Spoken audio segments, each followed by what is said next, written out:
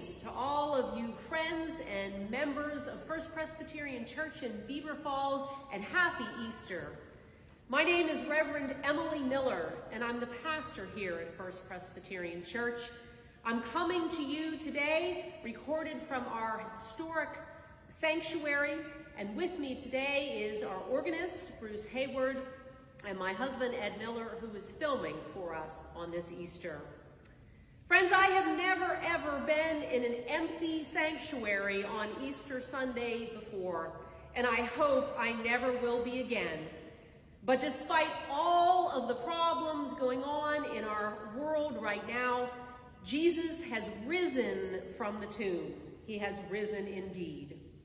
And so, my friends, let's prepare our hearts for worship using our call to worship for this morning. Do not be afraid. I know that you are looking for Jesus who was crucified. He is not here. He has been raised. So come with amazement, come with joy, come with wonder and praise. Shout the good news to all who will hear. Christ is risen.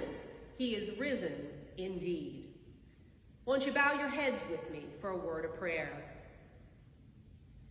Gracious God, we come to you today on this Easter Sunday, happy to watch you escape the tomb once again, but heavy in our hearts because we are not in our church home. We long to sing and shout your praise with our brothers and sisters in Christ. Lord, be with us this day in our homes, in our apartments, and help us to open up our hearts to you anew with faith that is filled with resurrection.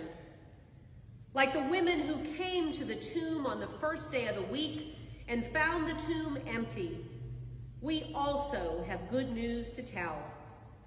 Good news to tell to ourselves in this time of crisis, and good news to tell to one another. Forgive us, Lord, for our half-hearted witness in this time of fear. Forgive us when we let fear overtake the light of this Easter day. Forgive us when we think that maybe this year you will not rise from the grave. Fill us with a resurrected faith.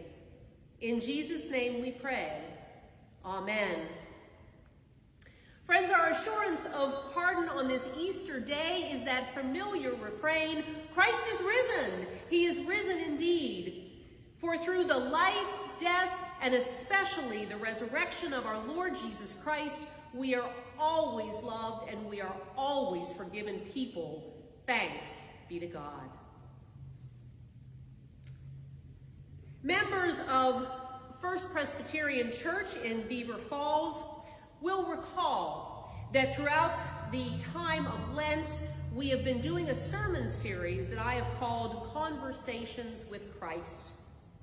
Throughout this time, we have been eavesdropping in on some wonderful talks that Jesus has had with biblical figures. We've heard about his talk with Nicodemus, with Mary and Martha, and last week we even uh, looked in, not really listened in, but looked in on Jesus' interaction with the donkey on Palm Sunday. All of these conversations, as wonderful as they are, all of these conversations, my friends, were merely lead-ins to today's conversation. They were precursors to today's conversation with Mary at the tomb. So let's see this morning how Matthew describes this conversation for us in his gospel. I'm going to be reading to you today from Matthew chapter 28, verses 1 through 10.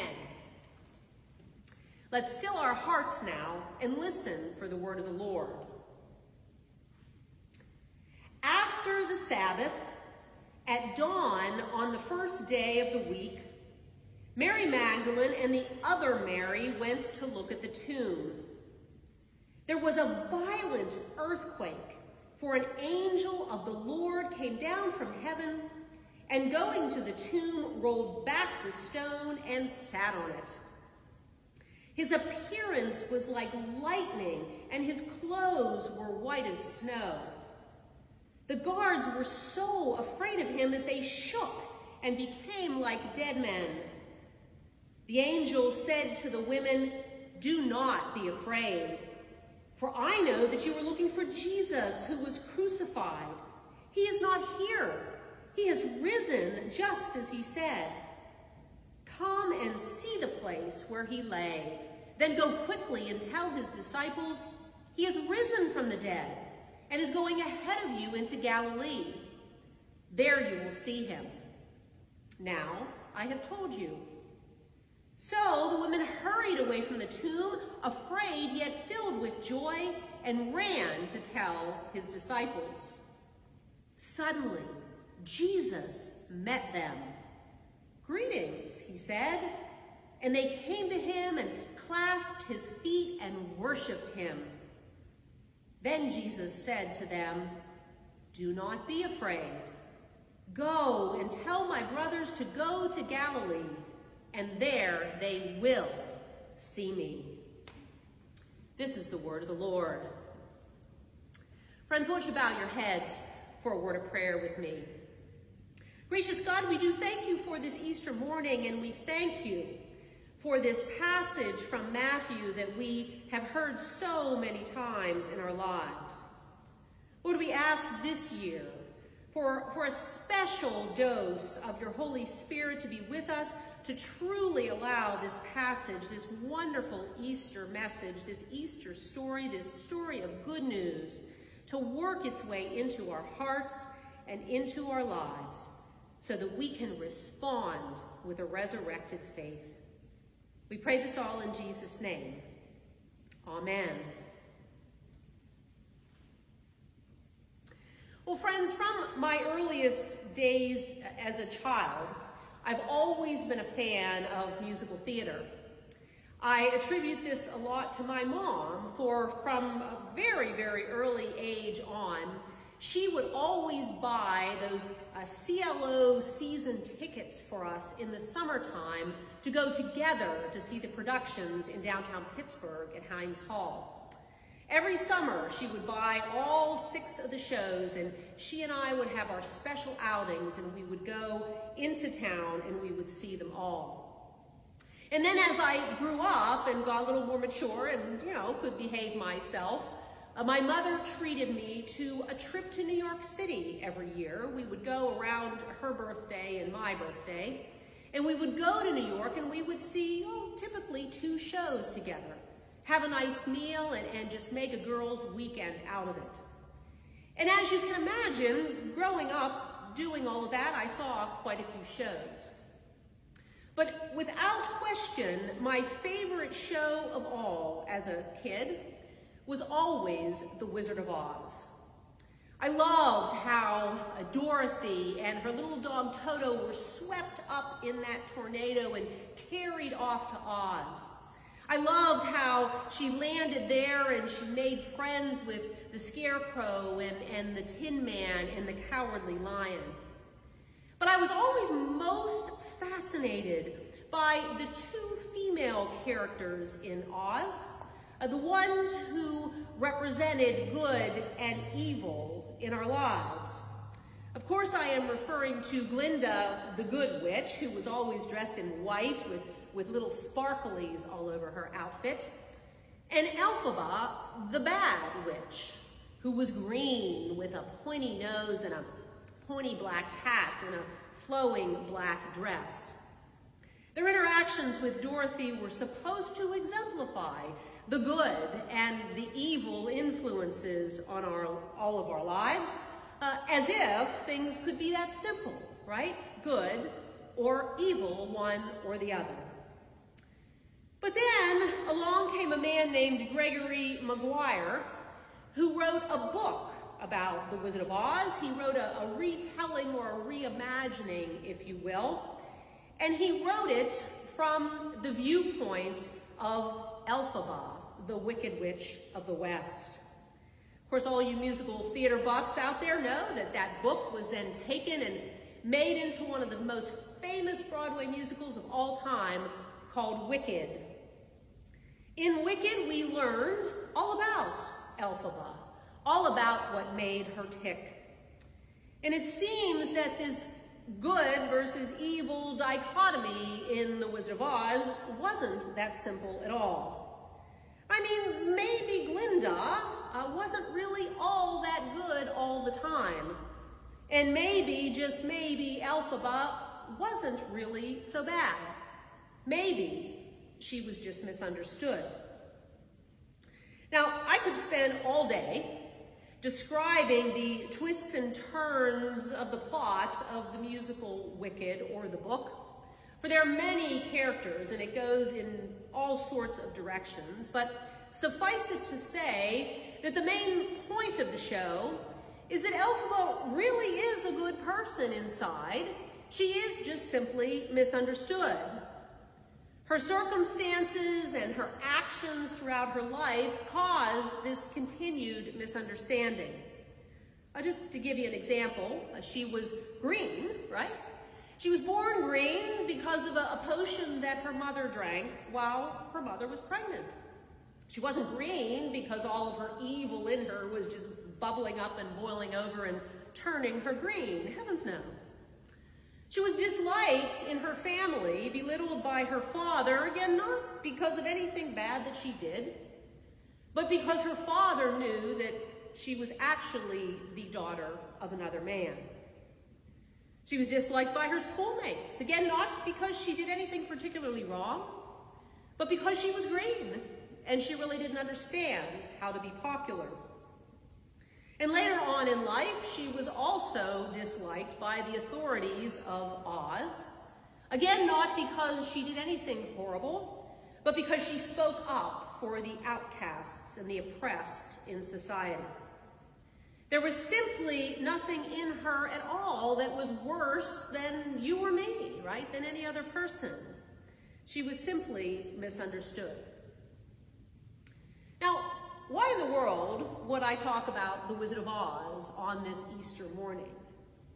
Well, many of you out there watching this have, have heard many Pastor Emily sermons, and you know, you know that I always tie it all together in the end, and I will do the same today, so just bear with me for a moment. For it is indeed Easter Sunday, and our scripture passage from Matthew 28 uh, is the Easter story. It is without a doubt the most famous story in our Bibles.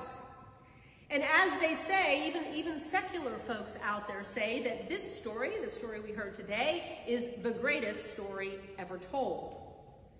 In fact, it forms the basis of our faith. And in Matthew's gospel, it goes like this. Mary and another woman, they go to the tomb where Jesus was laid on that very first Easter morning. Of course, this is right after Jesus was brutally tortured and publicly executed. So Mary goes to the tomb early on Sunday morning and she expects to see the tomb closed up.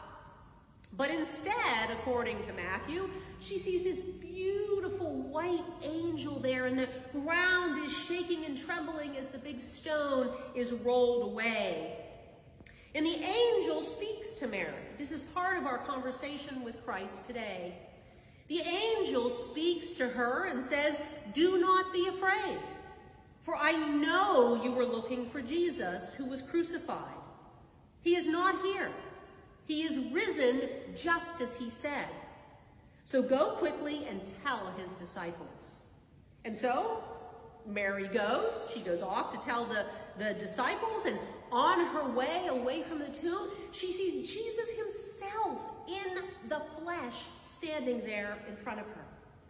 And he says, greetings to her, just like I said to you a few minutes ago. He says, greetings. Do not be afraid, just like the angel did. Do not be afraid. Go and tell my brothers to go to Galilee, and there they will see me. And so Mary does exactly as Jesus asks, and off she goes to tell the others. This is Easter, my friends. This is our story. This is the hallmark of our faith. This is a story that has been repeated over and over and over for thousands of years. This is the story that got me up out of bed this morning to preach to an empty sanctuary. It can feel kind of silly up here, but I do it for this story. And I'm sure, my friends, that it's what gets you out of bed every morning, too. Without this story of love and resurrection, there would be no Christian faith. Jesus rises up from the dead despite everything they did to him, despite the yelling of the crowds, despite the crown of thorns, despite being pierced in the side and publicly killed, he rises up from the grave. And Jesus rises up from the grave too. Today he does, despite our pandemic outside these doors, despite the economic crisis going on, despite all of it, he rises up from the grave. Friends, our God is a God of resurrection. He is not a God of sin. He has wiped out sin. He is not a God of death. He has wiped out death. He is a God who has conquered sin and death. He is a God of life. Always has been, and he always will be. Easter is the focus of God's people, and that's us, right? It is the focus of our lives. But I have to tell you, my friends, that it seems, it seems in, in the dark days of this pandemic, as folks uh, are letting the, their fear get the better of them, as folks are letting their stress and anxiety and isolation get the better of them, it seems that some of us have forgotten about Easter.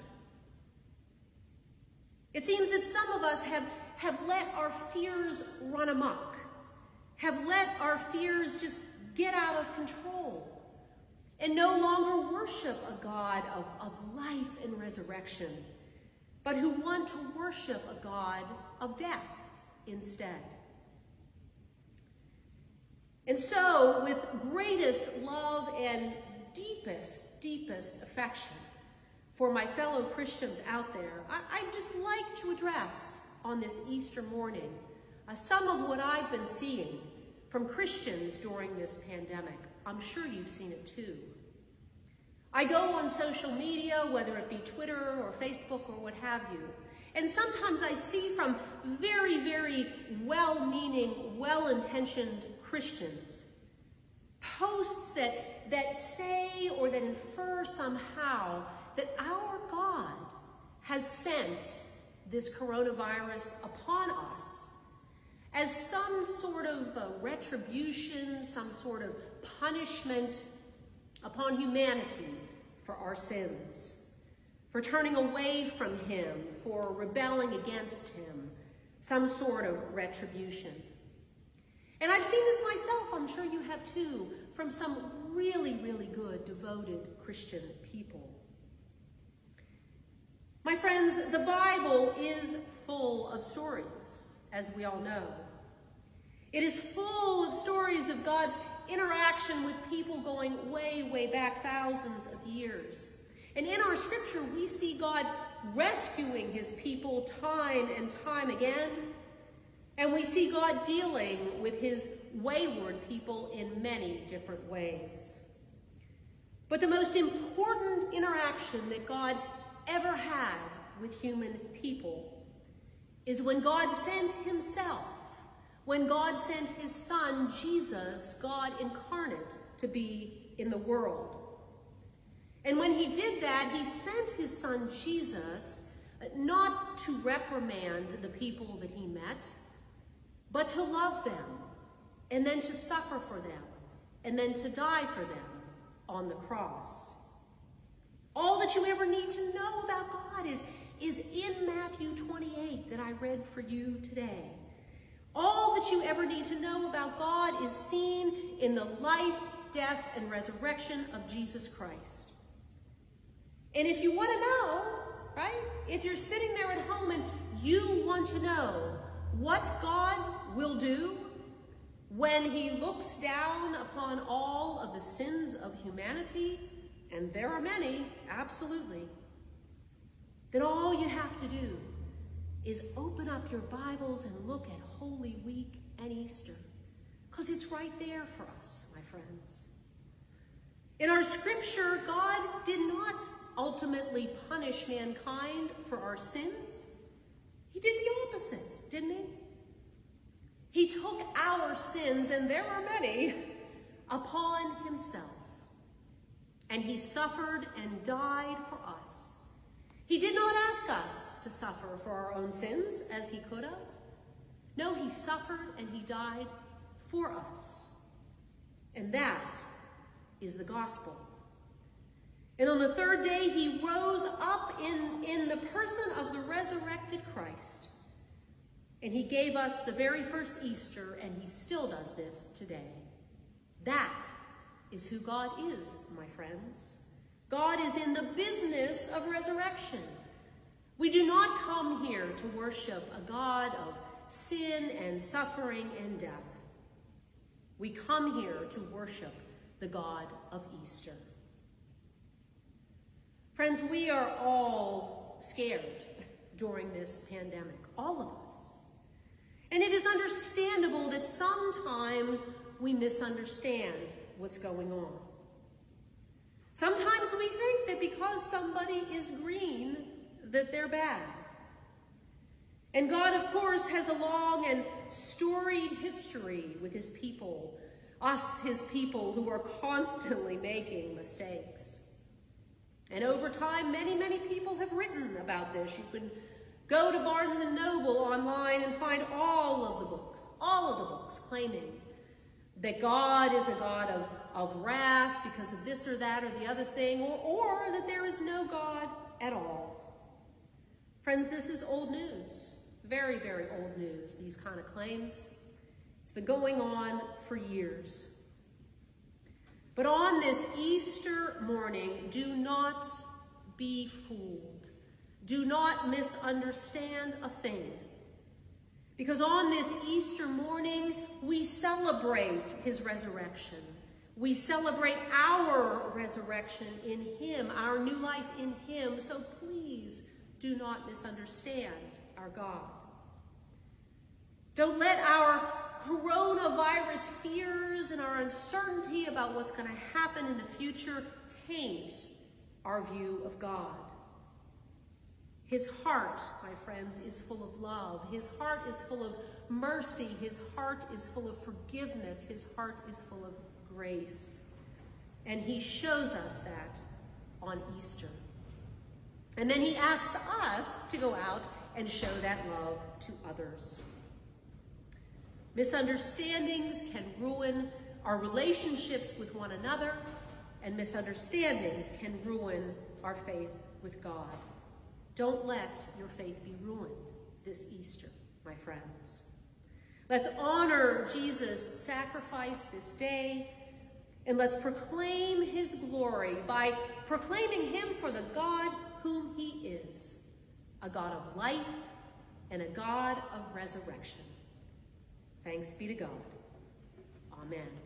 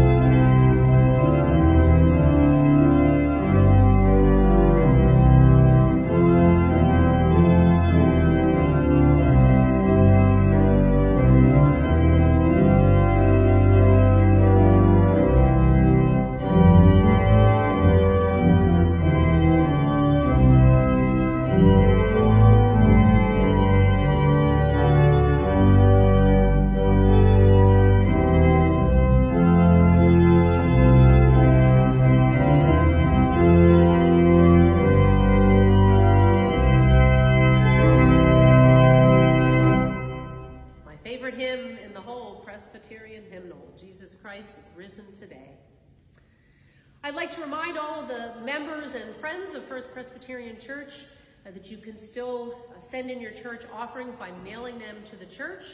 Or if you're out driving by, we do have our, our mailbox outside. Uh, please drop those off so that we can continue the ministry of First Presbyterian Church. Now I'd like to offer a short prayer for our offering. Gracious God, we know that you are a God of resurrection. And we ask now that you take our gifts and take our lives as well. Use them as part of your resurrection plan to bring life to our community in Beaver Falls and around the world. Bless our gifts, we pray. In Jesus' name, amen. I also would like to remind everybody else to please continue sending your prayer requests into the church. Catherine accumulates those and, and she still puts out our list of prayer requests for members and friends of the church. I take those requests, I pray for them. I know the folks who receive them by email do as well. So please continue sending your prayer requests in. And with that thought, I ask you all to bow with me one more time for our prayers of the people. Resurrection God, giver of all life on earth, our hearts are joined together this day on Easter morning. Lord, we pray for newness in our hearts and in our community. We think of those folks in the Brighton nursing home who are suffering so much from this coronavirus. Oh, please bless them, Lord, and bring them healing. We pray for all of the healthcare workers and the vulnerable among us, and pray for an end to this pandemic and the suffering it has wrought. We lift up those who strive to find a cure, a vaccine, or a new test, so that more will not suffer.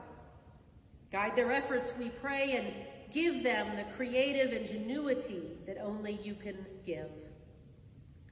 We pray for folks who are still suffering from other illnesses as well that aren't making the news like the coronavirus. Like we pray for those who are receiving treatment for cancer right now, and we pray for their healing. Lord, we lift up those who have lost family members due to this virus, but have not been able to be with them as they pass. Lord, we seek your healing power this day. And Jesus, we lift up those who are lonely during this period of isolation, those who need groceries and other types of help as well. And we ask for your presence with them. And help us, Lord, touch us to reach out and help others as much as we can in Christian love. Lord, let our faith truly be born anew this Easter. And now let us join together as God's people as we pray the prayer that Jesus taught us to pray, saying, Our Father, who art in heaven, hallowed be thy name.